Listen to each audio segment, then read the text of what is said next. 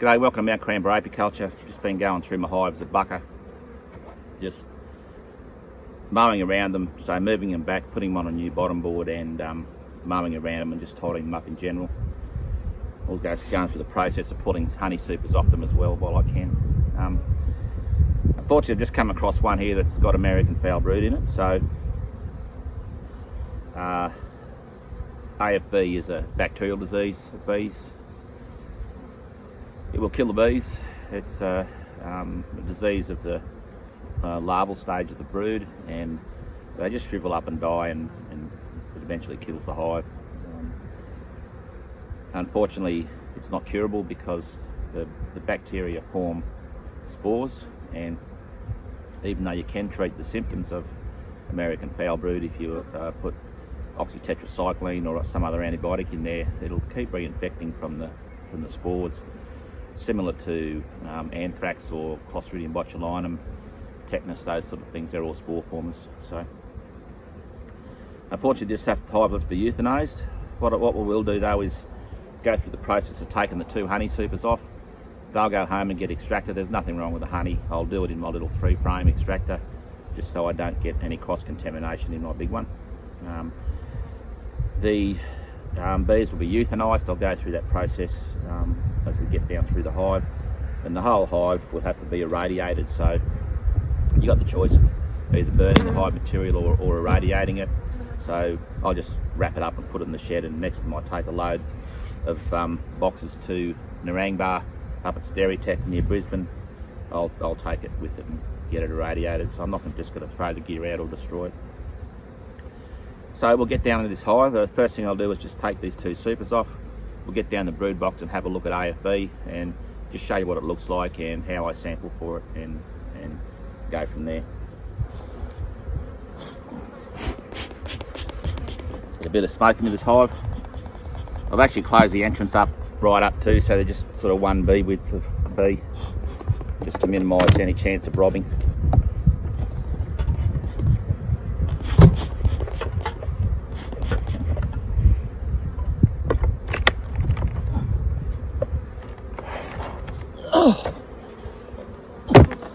So that's absolutely full of honey.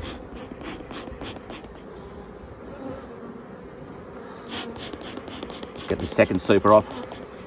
Aren't to be many bees in it either.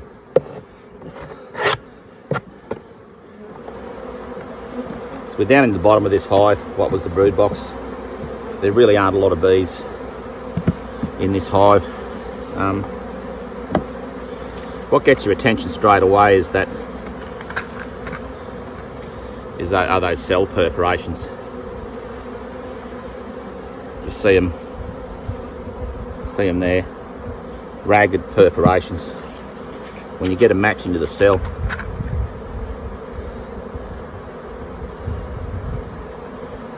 there's black, uh, sort of caramelly gooey liquid in there, and it ropes out.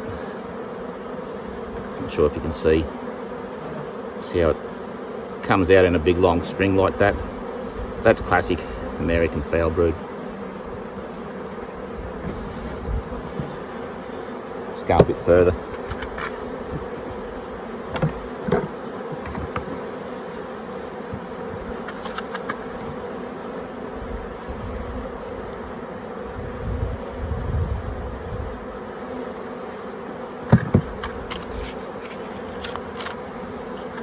Once again, um, perforated cells, sunken, um, real, real peppercorny shotgun pattern.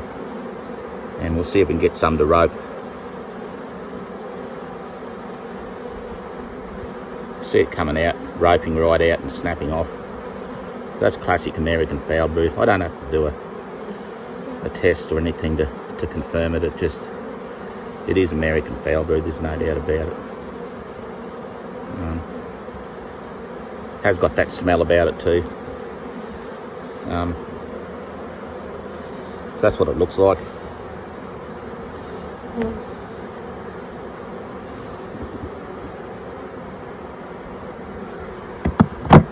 Keep looking.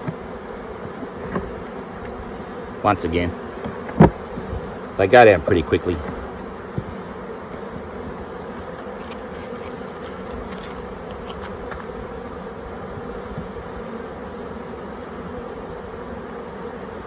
Brown gooey liquid and it ropes, ropes right out. So that's classic American foul brood and I'm seen enough it that I don't need to, to do a test but I'll get a do a smear just to show you how it's done. So got these glass slides that we used to use in in high school. Just get some of the the muck out, smear it on the slide, get nice and evenly across the slide, but uh, um, nice and thin. And the people at the lab, the DPI lab, will put that under the microscope and confirm that it's American foul brood. So that goes back in there, and that goes away in the mail. That takes about a week to confirm. What I'll do is hop on hop on the biosecurity line and just report this case of American foul brood. Where I was digging around earlier. You see that peppercorn pattern, perforated cells. It's really quite advanced, unfortunately. So I just hope that it hasn't spread around this apiary. But I'll certainly be checking every hive here.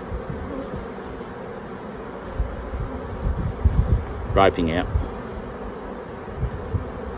So,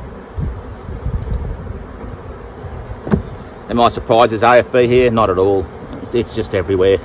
There's been plenty of um, plenty of identification of it recently around this area. This hive's got a real pong about it too. It just smells like hay, and that hive's dead. So, what I'll do, um, the way we euthanize them is tip a cup of unleaded petrol in the top. Um, do that tonight or tomorrow morning before they start flying again. So I'll close this entrance up nice and small. Um, the other thing I'll just do quickly, because these have got ventilated bottom boards, I'll just put some polystyrene, uh, sheet of plastic over the bottom here. So that when the fuel goes in, it just doesn't run straight through it.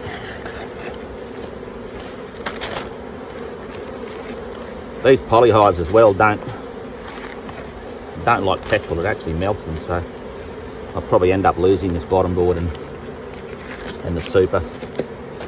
But that's okay.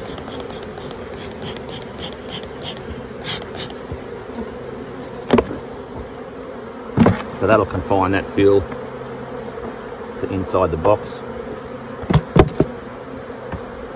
Put That back in get this lid back on.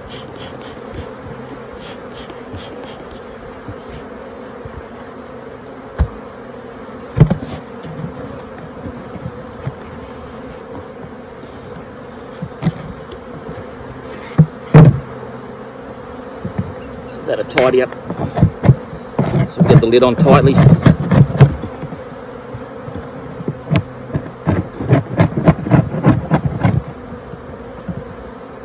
Don't leave any scraps lying around because if the bees and these other healthy hives get it and pick up a few spores, they can spread, spread it around.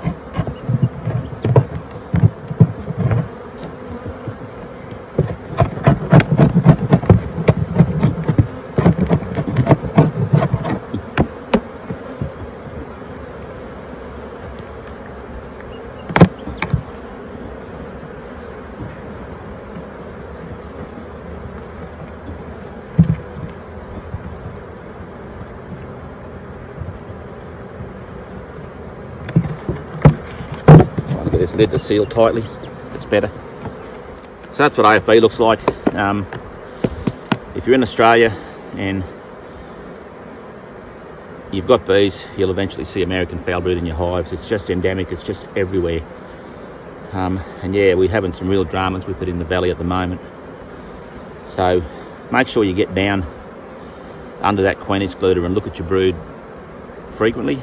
Um, I've had trouble this year because it's been raining since the start of February and it hasn't stopped. We've only just started, had a fortnight of good weather now and that, that's the reason I've started to get into these hives. So I'm kind of, I'm disappointed but not surprised that I've found American foul brood. So it's really important to get this hive out, euthanized and irradiated. So the frames, the brood frames in here will be burnt and the bees that are attached to them will be burnt. The hive will be wrapped up in plastic and put away in the shed until such time as I can get it irradiated.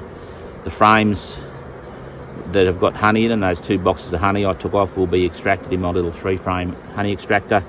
And once again, those frames will be burnt and the hive material will be, um, the boxes will be just put up, wrapped in that same box and, and put away in the shed until such time as I can get it irradiated. So yeah, that's disappointing, but it's good to um, it's good to be able to show people what AFB looks like. I'll send my little sample away in the mail on Monday. Today's Saturday, so that won't go away till Monday.